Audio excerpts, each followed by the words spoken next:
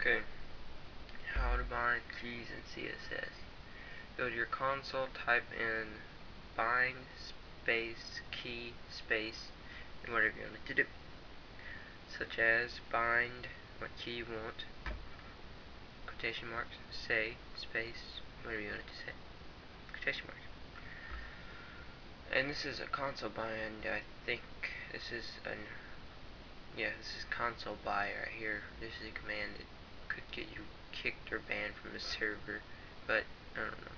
So bind space quotation marks key what you what key you want quotation marks space quotation marks by under by space weapon underscore yeah that's the M4 bind okay, quotation marks and this was not a well planned one so I hope you liked it and uh, I guess that's about it